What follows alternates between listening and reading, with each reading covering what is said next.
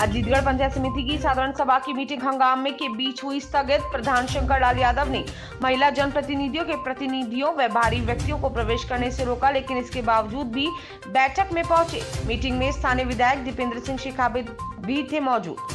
अजीतगढ़ पंचायत समिति की साधारण सभा की मीटिंग सोमवार को प्रधान शंकर लाल यादव की अध्यक्षता एवं श्री माधोपुर विधायक दीपेंद्र सिंह शेखावत की उपस्थिति में शुरू हुई। मीटिंग शुरू होते ही प्रधान ने इस मीटिंग में महिला जनप्रतिनिधियों व प्रतिनिधियों व भारी लोगों को मीटिंग में अंदर आने से रोका और अजीतगढ़ प्रधान एडवोकेट शंकर लाल यादव एवं श्री माधोपुर विधायक दीपेंद्र सिंह शेखावत ने भारी लोगों को बाहर जाने के लिए बार बार निवेदन किया फिर भी नहीं माने, जिसके चलते करीब आधे घंटे तक बहस चलती रही, लेकिन प्रतिनिधि बाहर नहीं गए, जिसके बाद मीटिंग को स्थगित कर दिया गया। सभी माननीय जनप्रतिनिधियों को मेरे द्वारा जो ग्रुप बना हुआ है एसडीएम ब्लॉक लेवल का एसडीएम हेडक्वार्टर लेवल का, उस पर भी शेयर किया गया था, जिससे, जिसमें आप लोग भी जुड़े हुए मीडिया प्रभारी साधारण सभा की बैठक में नरेगा का वर्ष 2022 तेईस, चौबीस का वार्षिक कार्य योजना का अनुमोदन होना था।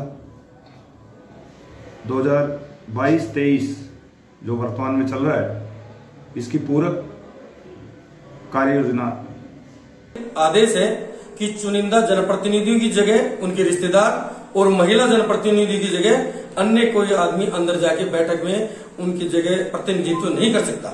उस आदेश की पालना में मैंने पहले भी पंचायत समिति की जो 6 जून को बैठक हुई थी, उसमें यहाँ के थानाधिकारी महोदय को निवेदन किया था, सम्मान्य अधिकारियों को निवेदन किया था, पर उन्होंने इस पर कोई लगाम नहीं लगाई। और अब मैंने मुख्यमंत्री महोदय का जो सरकार का सर्कुलर था वो सर्कुलर और मेरा प्रार्थना पत्र जिला कलेक्टर महोदय, जिला एसपी महोदय, सबको मैंने मेल करवा दिया था। थानाधिकारी महोदय अजीतगढ़ को मैंने व्यक्ति से उपस्थित होकर के दिया था कि आप अजीतगढ़ पंचायत समिति की व्यवस्थाओं को बनाए रखने के लिए हमें पुलिस व्यवस्था दें और सिर्फ़ जनप्रतिनिधियों को अंदर आने दें। यहाँ जनप्रतिनिधियों के बजाय साधारण सभा की बैठक में आम नागरिक आ गए और आम नागरिकों ने के हंगामा कर दिया।